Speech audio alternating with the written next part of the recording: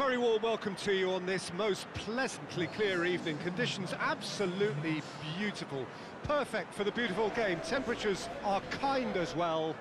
No doubt playing a hand in high attendance levels as well as an elevated level of anticipation here. Surely this is the hot ticket going around in this neck of the woods. It surely must be. Certainly this is a very, very impressive venue. Quite a sight to behold. If you're just joining us, we are already underway. So, Jim, who would you identify as the key man in this fixture? Yeah, Sadio Mane. He's one of the paciest players around, Peter. He's a, a very dangerous dribbler and a fine finisher to boot. I particularly like the way he gives defenders a headache by drifting across the forward line, looking for gaps to, to probe and, and spaces to get into. I think he's going to be a really huge asset for this team. Yeah, he'll be looking for a goal or two. Great lead!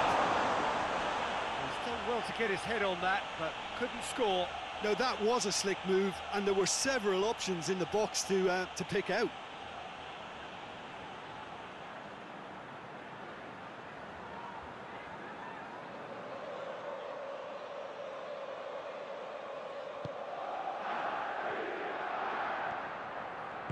Gomez plays it forward.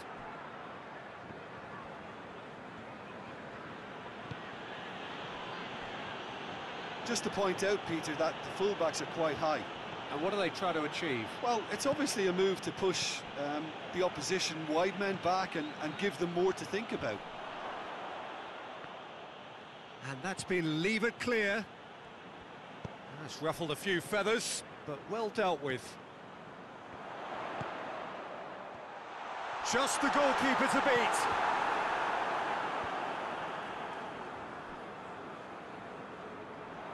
Play for a throw.